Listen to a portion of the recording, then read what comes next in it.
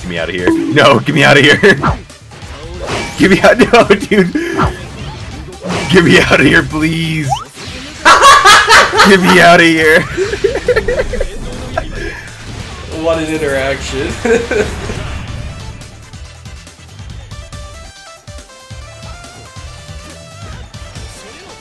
Dude, I was not looking at me, by the way. I thought I was you, and I was looking at the background. It's like, man.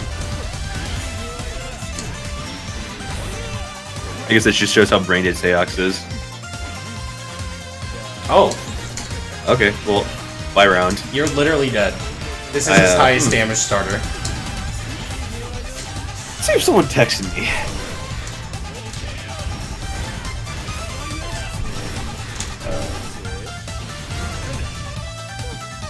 Oh, that's why I couldn't see. It was such a tiny window. Who made you so small? Who gave you permission to be so small? I didn't.